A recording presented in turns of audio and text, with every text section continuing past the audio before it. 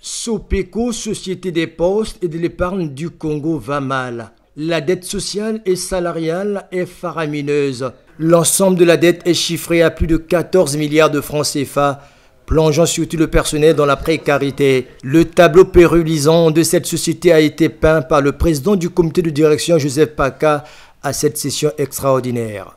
La Sopeco, notre entreprise, demeure lestée par d'innombrables entraves au triple plan structurel, organisationnel et financier.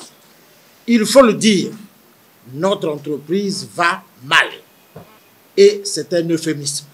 Elle souffre autant de pathologies congénitales il faut sortir Sopeco de l'ornière, ce qui justifie les délibérations et recommandations formulées par les administrateurs de cette société à l'issue des travaux tenus pendant près de 5 heures. Après les échanges fructueux, le comité de direction a adopté les délibérations et recommandations suivantes. Délibération 1.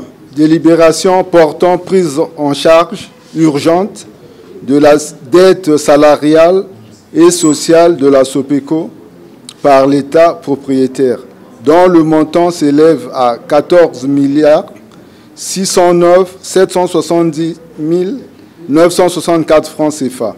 Le paiement d'urgence de la subvention de l'État et des frais de correspondance au titre de l'année 2023.